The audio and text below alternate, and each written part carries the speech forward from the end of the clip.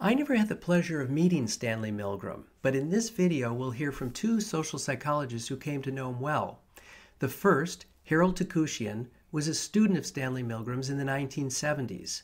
And the second, Phil Zimbardo, was, amazingly enough, a high school classmate of Stanley Milgram's in New York years before either one of them became a social psychologist.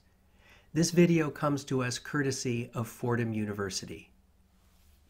Here are two of us in New York City who knew Stanley Milgram in different ways. Uh, my name's Harold Takooshian. My name is Phil Zimbardo. And we wish you well in your conference in Canada celebrating the 50th anniversary of Stanley Milgram's classic work. Uh, Gina, Nestar, the conferees, we wish you well. Uh, we'd like to give you a brief perspective uh, in a different way on Stanley Milgram. Uh, I would say that I knew Stanley Milgram as a student. The fact is that uh, Stanley Milgram is mostly known as a larger than life researcher who did the obedience experiment, but there are about 50 of us who knew Stanley as a professor. And there were a couple of things I would say about this. One is that Stanley, like Dr. Zimbardo was a dedicated professor in all his life, not just a researcher. From 1960 at Yale till the very day he died, December 20th, 1984, chairing a dissertation. Uh, and those of us who knew him uh, knew that Stanley was even greater as a teacher than a researcher. His class was remarkable. The two things I would say about it one is that he was uh, he made the class come alive. Social psychology was remarkably vivid with him, and we had small classes, so there really weren't many students that uh, studied with him. But those of us who did, uh, it was remarkable. The second thing I would say about Stanley is that we he had what we call wonders. He would do things in the class that no other professor would do, and we were always wondering why he did it. One quick example is he asked the students to grade each other at the end of the semester. Other professors don't do that. And then he would sit there and read the grades out loud that each of us gave to the other. And we learned from that experience. Speaking personally, I learned a lot about myself just by taking his class. The final thing I would say about Stanley as a teacher is that we had a large gathering for him on his 49th birthday because he was very ill. And we asked him, What do you tell us students is the makings of an excellent uh, researcher. And he said three things courage, courage, courage. And I must say that has influenced my career as, as a teacher. I'm so grateful to Stanley. Uh, thank you. Thanks, Harold. Uh, so I knew Stanley back in 1948, 1949, another era. Uh, we were students at James Monroe High School in the Bronx uh, in senior year, class 12H1, if I remember rightly. Uh, and uh, Stanley was the smartest kid in the class, uh, the envy of uh, most of the rest of us. Uh, I think, I, as I remember, I think he got all the awards at graduation, or almost all the awards. He was in Arista, but he was also in the stage. Even then, he was had an interest in um, in theatrical, in in filming. and people forget that later in his life, he did a lot of film work.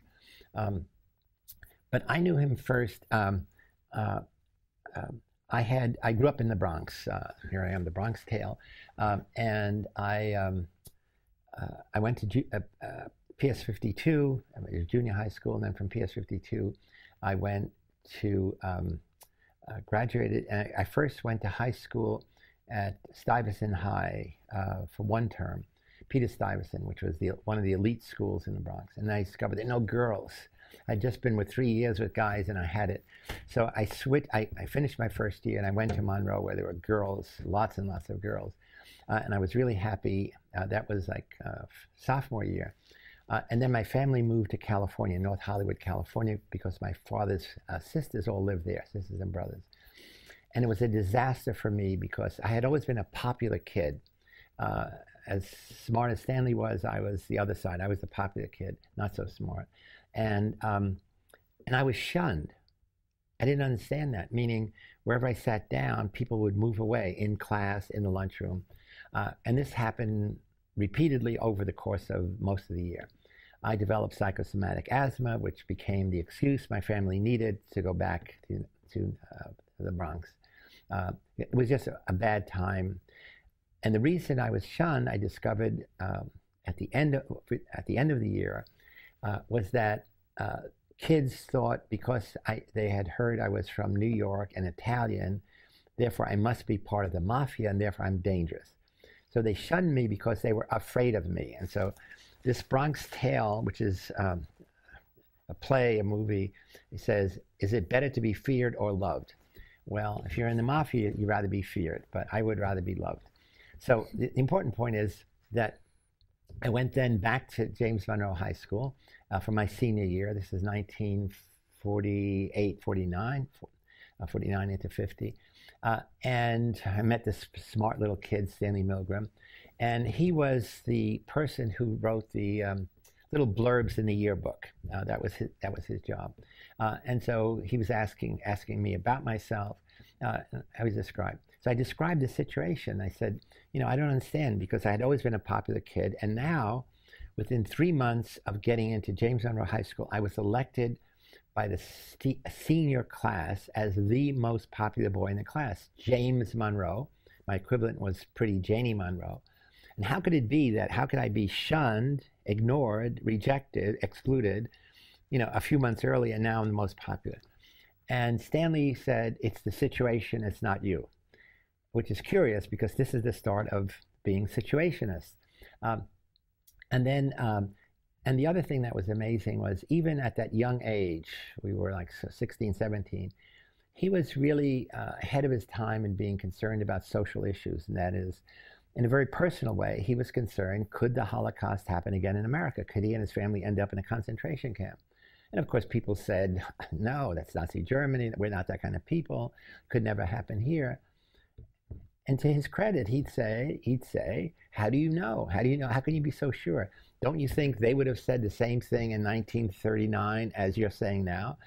And essentially, his basic message was, has been, how do you know what you would do? How can you predict with certainty what you would do in a new situation um, unless you are in the situation? Because when you're outside of the situation looking in, it's easy to make uh, proscriptive judgments. I'm not that kind of person. We're not the kind of people who do this. And so essentially, the Milgram's research really put ordinary people in a new situation, a situation where, in the role of teacher, they had this enormous power over their student. Now, they were in a chain of command where authority had power over them, but they had they had the execution power over over the uh, uh, their their um, uh, students. And the Stanford Prison Study, which then followed the next decade, was a similar thing where guards were given total power over prisoners. Uh, and then the point is, how did they use that power? Well, they, they abused the power, and that's, that's what I call evil the intentional use and abuse of power to harm, to hurt um, uh, other people. Now, the last story I want to mention is I finished the Stanford Prison experiment in uh, August 20th, 1971. And in those days, American Psychological Association was on Labor Day. I'm not sure it was. Somehow I remember Canada. Anyway, I was supposed to give a talk about something that I was doing. Uh, it was, uh, I'm not even sure what the topic was. And at the end of the talk, I said, I, I said, I've saved five minutes because I really have to share something we've just done. I've just done this study, the Stanford Prison Experiment, and I had a few slides I put up and uh, I just described, you know, we, we haven't even analyzed the data, but clearly what we're seeing is in a very short time, good boys are abusing other boys uh, only because they're in a role, and the role is in a situation, a situation is in a the setting. And, and I said, you know, I hope to be able to present next year a, a fuller version of the study.